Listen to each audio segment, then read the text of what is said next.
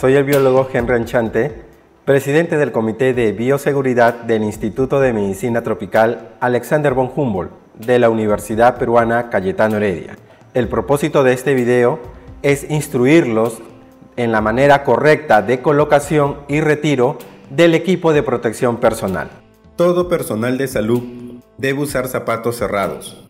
En el caso de las mujeres, sujetar el cabello y en los hombres no deben tener barba y o bigote. Retirar anillos, pulseras, relojes, collares, aretes, etc. Guardar equipos personales tipo celular, audífonos, photocheck, estetoscopio, llaves, billetera y monedero en una bolsa completamente sellada. Empezaremos por revisar el equipo que nos proporciona. Respirador N95, guantes, lentes, cubre cabello, cubre zapatos, chaqueta y pantalón, mandilón, Idealmente deberíamos hacer este procedimiento en pares y supervisarnos mutuamente para asegurar la máxima protección. Colocación del equipo de protección personal. Iniciamos con el lavado de manos, según los lineamientos de la Organización Mundial de la Salud. Este debe durar aproximadamente 50 segundos, idealmente con agua y jabón líquido o en su defecto con alcohol gel.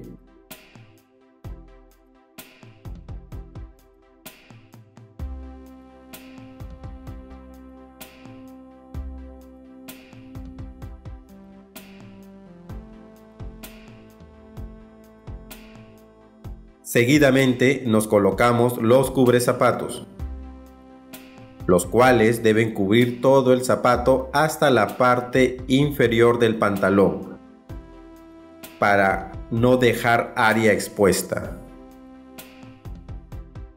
Posteriormente, procederemos a colocarnos el mandilón.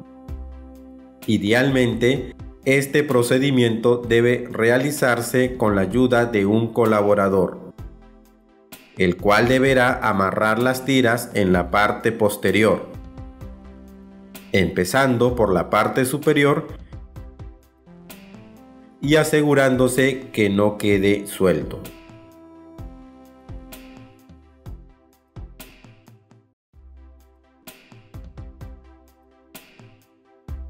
Luego nos colocaremos el cubre cabello, el cual debe cubrir no solo todo el cabello, sino también las orejas.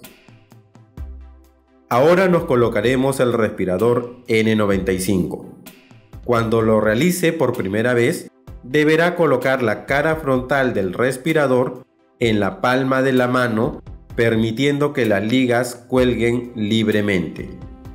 A continuación, lo colocamos sobre el rostro cubriendo el tabique nasal hasta la parte inferior del mentón. Luego se pasa la liga superior, la cual debe quedar por encima de la oreja, y luego la liga inferior, que debe quedar por debajo de la oreja al nivel de la nuca.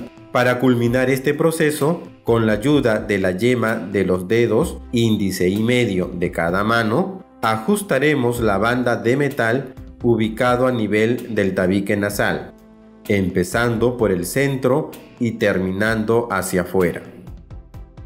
Para comprobar que el sellado del respirador es el correcto, podemos realizar uno de estos dos procedimientos.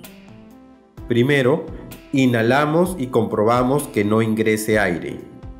Segundo, exhalamos y comprobamos que no salga aire. Seguidamente nos colocamos los lentes, para lo cual los sujetamos por la región frontal con una mano y con la otra mano pasamos la liga a la parte posterior de la cabeza, verificando que queden bien ajustadas contra la cara y que no se deslice por la nariz.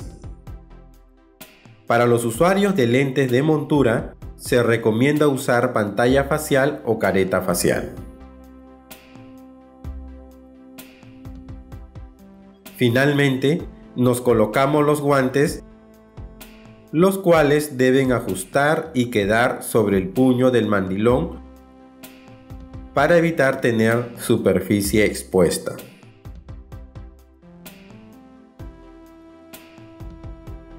Y así quedamos protegidos y podemos empezar a trabajar. Retiro del equipo de protección personal. La idea es empezar con el elemento más contaminado. Empezaremos retirándonos los guantes. Para ello primero sujetamos en pinza a nivel de esta región de la mano y con un movimiento suave deslizamos el guante hacia afuera hasta retirarlo completamente. Con la mano que aún tiene el guante, lo enrollamos en el puño. Con la mano libre introducimos los dedos por debajo del guante, para evitar que la parte externa contaminada toque nuestra piel. Una vez retirado, lo eliminamos en el tacho con bolsa roja. Luego procedemos a lavarnos las manos. Posteriormente nos retiramos los zapatos igualmente introduciendo los dedos por debajo y retirándolos sin tocar la superficie externa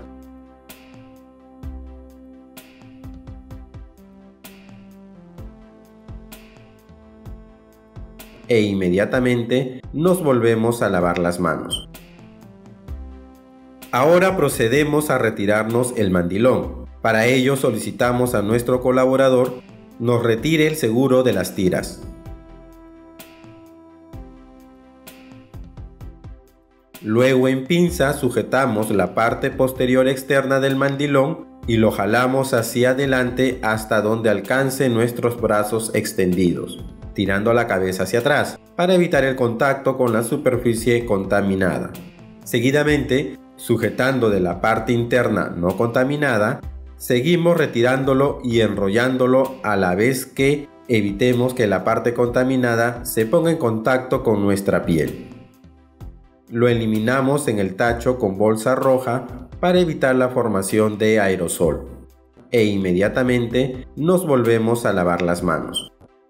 Después nos retiramos los lentes agarrándolos con una mano, la banda elástica por la parte posterior y la deslizamos suavemente hacia arriba y adelante, evitando tocar la región frontal contaminada.